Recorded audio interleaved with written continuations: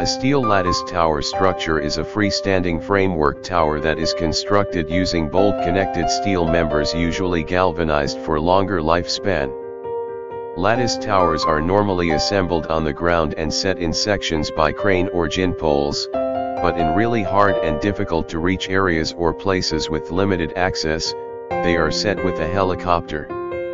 Due to the high commercial and residential electricity demand and consumption, high capacity and long span transmission line systems are widely used throughout the world.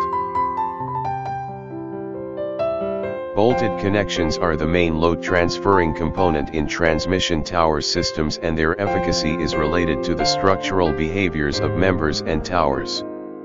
The two main bolted connection types used in transmission towers are, the lap splice bolted connection which is usually used for long primary members, example leg members, to form a continuous member, and the lapped bolted connection, single bolt and multi-bolts, which is designed for connecting secondary members, example bracing, to restrain and afford stiffness to primary members. Design loads that are usually included in the design of transmission towers system are, dead loads including the weight of all of the structure and its attachments, wind loads, accidental load, one of the compulsory loads that includes the unbalanced loads resulting from the assumed broken wire condition, and other loads include earthquake loads, maintenance, and construction loads. The mathematical modeling is an important step in the design of steel lattice towers. Steel lattice towers are treated as a pin-jointed skeletal system, they consist of bolted connection, main structural members, example leg members, and bracing systems. A tower line system consists of single towers, conductors, the conducting wires, insulators, the connections between towers and conductors, and earth wires. In order to obtain reliable analysis results from numerical simulations, all components should be accurately modeled.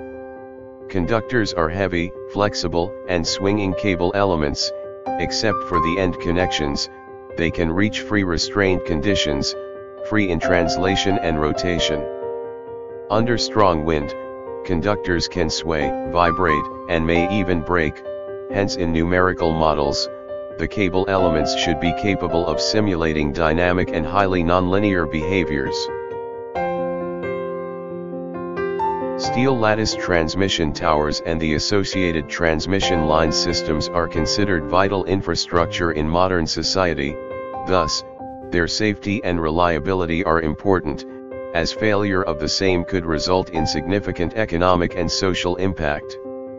Transmission towers, as they look like tall ladders, can be attractive and enticing to some children and adults. However, they should never climb a transmission tower, as only qualified utility personnel with specialized tools and safety gear can climb transmission towers safely.